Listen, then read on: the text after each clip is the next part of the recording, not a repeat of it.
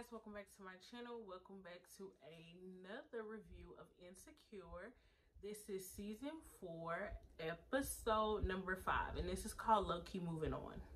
So the episode starts off with Issa sitting on her bed and it's like 3:24 in the morning or 3:25 whatever.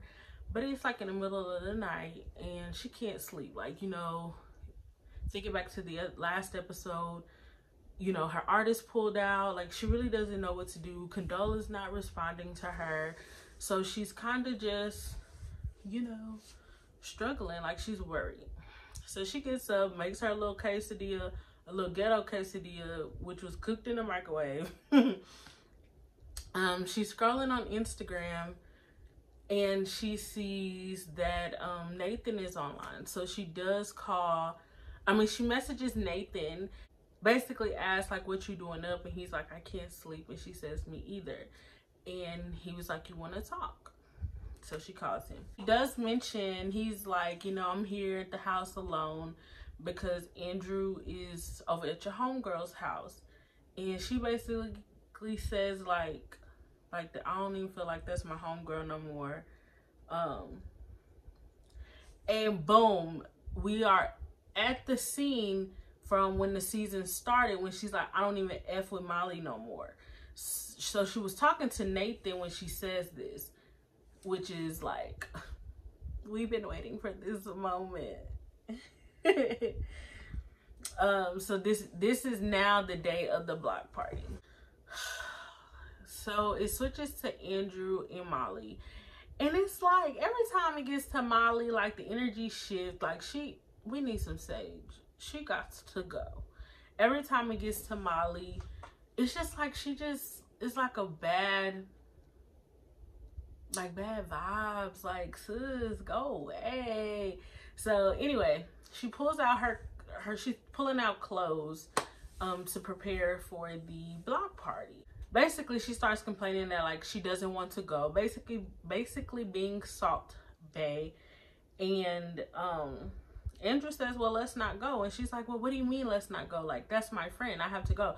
So every week is the same thing with Molly. Like, is she your friend or is she not? Like, make up your mind. Like, you're so stuck on she's doing better or she's like starting to get to a place where she's doing things on her own and being more mature and you can't handle it like you really can't handle it it's just a shame so we are like, so it's like 17 minutes into the event. Um, she has an assistant or an intern, um, and she's really goofy. She has an intern that is helping her. She looks over and she sees Condola.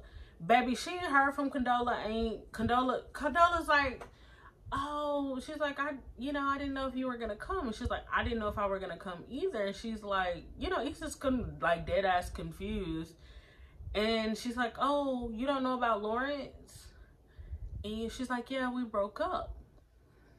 This goes back to what I said in the last video. Like, sis, don't mess with my coins. Don't mess with my name because you and Lawrence have broken up. Like, I don't think that's fair. And so, um, it made things really awkward.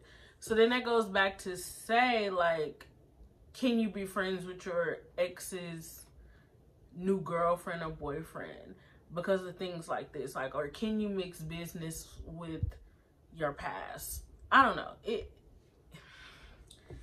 condola is wrong for that. Like condola is just like oh i just came by to stop to see about the sponsors i believe and she did provide Issa with interns so i guess like she um pulled back but still made sure that Issa did have some support. So then we have Kelly over here at the like, they called it a step and repeat being her. She's apparently been taking pictures for the past 45 minutes, hasn't allowed anyone else to take pictures. So then she calls Tiffany and Issa over to take pictures and um, she said, we're going to take a happy, sexy, in jail pose picture. So they did the happy, the sexy, and jail pose, baby. I said, I don't care how successful you get. I don't care how up in the chain you get, baby, you're gonna always hit that jail post with your homegirls and your friends, okay? Because that's just what we do. Code switching at its finest. So throughout this episode, Tiffany says like little slick things about the baby. So I'm wondering if she is suffering from postpartum depression because during this scene she says, you know, sometimes I wish I could just leave her in the grocery store. And um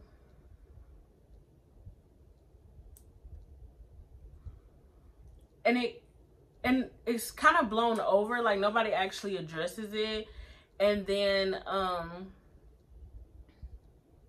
you know kelly gives Issa her props like you know how goofy kelly is but kelly as a friend was like i'm so proud of you like you made your vision come true and then she starts to use this british accent and Issa's like deeply confused and kelly's like oh, I'm talking to this new guy, Darnell, and he thinks I'm from Britain. I don't know why that was so funny to me.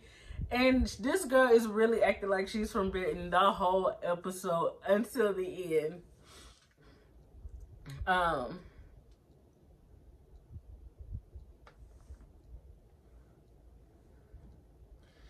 So uh, the intern comes to Issa and um, says that the press wants to talk to Issa. So, you know, Issa's excited like, hey, y'all, I'm about to go to the press. So I'll be back. She's doing the interview. It looks like a legit, like, it's going to be on the news. And Issa asked her, like, when will I see, um, where can I watch this? And she was like, oh, on my YouTube channel. and I, I want to say Issa was like, how, well, how long have you done that? And she was like, I haven't even started it yet. I just, baby, she came though. She had a full set. Like, sis is ready for her YouTube channel, okay? But that was funny because sis looked like she was from Fox 5, okay? So then it jumps back to Kelly and Tiffany. And then again, like I said, Tiffany is having these um, moments where it's kind of like, sis, you said some crazy things. So during this, she says, um she's drinking. And kelly's like aren't you breastfeeding? And she's like no um she wasn't latching but you know it's her loss. And kelly was like sister are you okay? Are you okay? Because she's just saying like things that kind of make you worry and so um i hope it doesn't go ignored so hopefully as the um season progresses through these last few episodes we can see um tiffany get some help uh, Molly shows up, and again, it's awkward AF because Molly is so negative Nancy. And then it jumps back to Issa going, Issa's brother going up to Kelly, you know, trying to get her to break this Britain accent, like asking her all these questions. But baby, sis is holding on.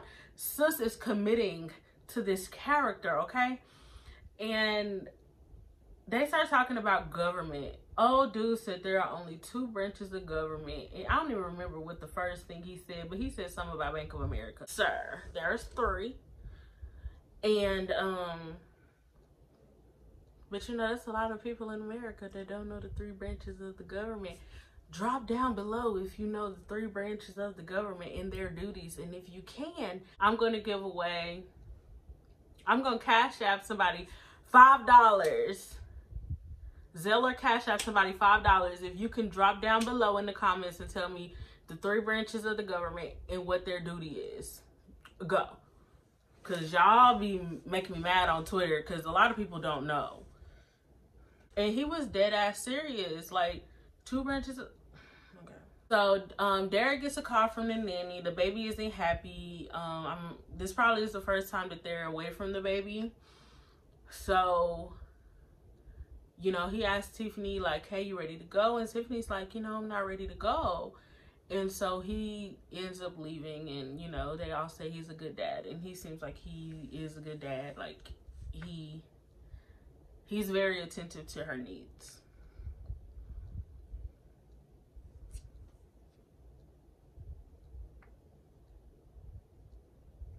So then it jumps back to Andrew and Molly just kind of chilling out, talking and he says this is a good event and molly can't even say like yes this is a good event like like she can't even utter the words. So at that moment, like I'm so done with her. I want her and Issa to go ahead and hang this up. Like you and he says, you know, well, this is a pretty big event. Maybe that is why y'all haven't been as close because this this took a lot. But she just couldn't be proud for Issa. So Nathan shows up with his pretty self. He is so handsome in those eyes. He look like he can ruin lives. Um, but he shows up, you know, Issa's kind of down because she's like, there's nothing but white people here. And, um, you know, they kind of joke about it. Like, you can tell that everybody is genuinely proud of Issa that's in her circle except for Molly. And this kind of made me think about, like, Issa can't sit in her in her accomplishments and i mirrored that like that's kind of something I deal with is like I can't sit in what I've done well. I'm always looking for what's next. And I'm sure that's a lot of people. And it's just like I'm sitting here like, sis, I'm so proud of you. You went from we got y'all to hosting your own block party. Like you had a vision and you made it happen. Like sit in it. Like you're dope. Like this is dope. And I'm just like, mm, pop meets kettle because I can never sit in what I've done and what I've accomplished. Molly walks up with some wings and you know it's like hey girl I figured you haven't ate yet so I had some extra wings. Do you want them during that the intern comes up and says hey Vince Staples is here um in the VIP area come talk to him. So again Issa had to walk away and of course Molly felt some type of way because it's not about her. Like she's hosting this whole ass event she don't have time to just stand by you and eat wings. Like, this is not the time to do that. Like, I, it's a good gesture, but you can't be salty about it. So, oh my God. So all the black people start coming in. I just got so excited. Like all the black people started coming in and they, they start doing the wobble. Baby, if they would have had hit that swag surf, y'all could have just hung this up because I would have been too happy. Like, that was such a moment. Issa, that was the first time Issa has let go. Like you can see her let loose and enjoy the moment. And then her and Molly kind of shared a moment when they were wobbling. Like it was so cute. Not her and Molly, but the fact that everybody was wobbling and it was like everybody was there. They called Issa to the stage and um, she was going to introduce Vince Staples and she was trying to explain her vision, but they were like, no, Vince, Vince, Vince. So she stops and she brings Vince Staples out and um, he puts on his show because that's who everybody came to see. And I was sitting here wondering, how did she give Vince Staples um, a, a big time artist because Molly said that she wasn't going to help her. But ooh, so as um, Molly and Andrew are walking, um, he mentions, you know, uh, um, no, the guy comes like I guess his assistant, Vince Staples' assistant, comes over and asks Andrew if he wants to come talk or something like that, catch up. And Andrew mentions that Nathan, you know, that he helped get Vince Staples for Issa through Nathan. Oh, baby, you would have thought that Andrew shot Molly in her big toe. Molly proceeds to walk her walk her behind over to Issa in the middle of Issa's event and cause a scene. Issa should have dragged her. Like Issa should have shifted the damn bob. Because first of all, again, when somebody's messing with your name and somebody is messing with your event and this is your first event and you're supposed to be my best friend, fuck all the other shit. You like this wasn't the time nor the place. Like you ugh. So let me get back to this. So Molly goes to question her like, didn't I tell you, you know, not to um involve Andrew and I set boundaries and Issa was like, when I needed you the most and I needed you to do this small thing, you created a fake ass rule. And she's like, I like creating boundaries. Like, no, sis, you didn't, you wanted me to fail. Like, and she's like, Issa, you always need small ass things. And y'all, it it exploded. Like, you know, Issa was telling her, like, Molly, you never want to be happy. Something happened with you and Andrew. It ain't on me. It's on you because you are unhappy. They're going back and forth on, like, in the middle of this event. And so, like, they getting face to face. Molly's like, get your, I mean, Issa's like, get your hands out of my face. And somebody, because, you know, this is what black people love to do, says, Oh, she got a gun. She got a gun.